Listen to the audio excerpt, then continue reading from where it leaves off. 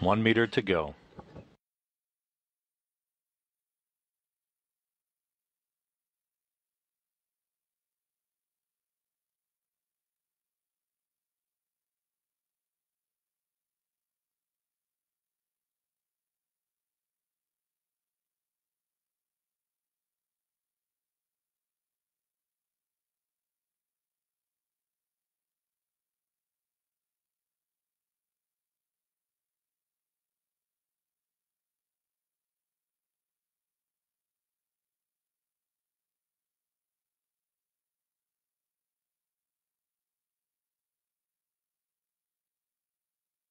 Capture confirmed. Dragon in the grasp of the Canadarm2 robotic arm.